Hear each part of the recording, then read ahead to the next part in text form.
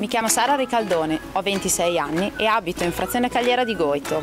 Nella vita faccio la vice responsabile di punto vendita. Ho deciso di candidarmi nella lista di Pietro Chiaventi perché vorrei riscoprire questo paese, ormai dimenticato, cercando di valorizzare ciò che di bello ha. Immagino per tutti noi un'amministrazione sincera, concreta, trasparente nei confronti del cittadino.